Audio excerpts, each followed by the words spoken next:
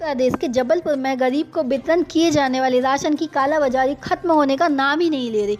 ऐसा ही मामला भेड़ाघाट की दुर्गा कॉलोनी से सामने आया जहाँ पर राशन का 150 बोरी गेहूँ व 30 बोरी चावल एक ही घर में उतार दिया गया जहाँ पर क्राइम ब्रांच की टीम ने पहुंचकर छापा मार दिया। पुलिस की कार्रवाई से दुर्गा कॉलोनी क्षेत्र में हड़कम मच गया है। बताया गया है कि भेड़ाघाट सहित आसपास क्षेत्र के गरीबों को मिलने वाला राशन के अनाज को दुकान में न उतराकर दुर्गा कॉलोनी में लखन पटेल के घर उतार दिया गया उक्त जहाँ से उक्त राशन गरीबों को न दिया जाकर सीधे बड़े कारोबारी को बेच दिया जाता है। कालाबाजारी अपने मसूबों में कामयाब होते हैं। इससे पहले क्राइम ब्रांच की टीम ने भेड़ाघाट पहुँच पुलिस के साथ मिलकर उक्त मकान पर छापा मारकर 150 बोरी गेहूँ व 30 बोरी चावल बरामद कर दिया है। पुलिस की कार्रवाई से दुर्गा कॉलोनी क्षेत्र में हड़कम मच गया है। प्रारंभिक पूछताछ में उक्त गेहूँ व चावल राशन दुकान संचालक अजय मिश्रा का बताया जा रहा है। हालाँकि पुलिस मामले की जाँच में जुटी हुई है।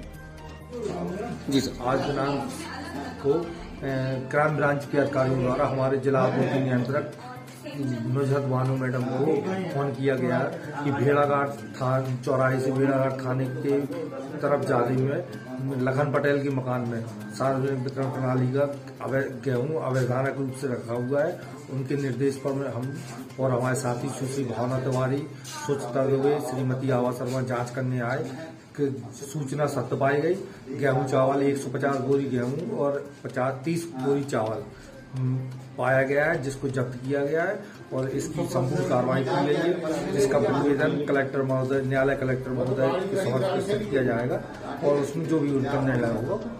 सर दुकान संचालक को सहायता दुकान संचालक के लिए जाँच के लिए मैडम जिला मैडम ने निर्देश दिए हैं। तो जो संबंधित क्षेत्रीय अधिकारी श्रीमती आवा शर्मा है जाँच करके उस उन दुकान की जाँच का प्रतिवेदन भी इसमें संलग्न करके पूर्ण प्रतिवेदन कलेक्टर महोदय के समक्ष प्रस्तुत किया।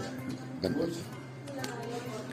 देखिए क्राइम ब्रांच को विश्वसनीय सूत्रों से सूचना मिली थी कि बिल्हा राशन दुकान का जो राशन का माल है गेहूँ और चावल वो राशन दुकान से बाहर अन्यत्र अ, रखा है।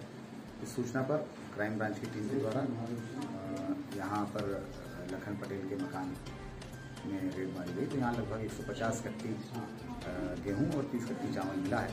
इसमें जिला खाद्य अधिकारी संपर्क कर उनकी टीम को बुलाया गया है। यहाँ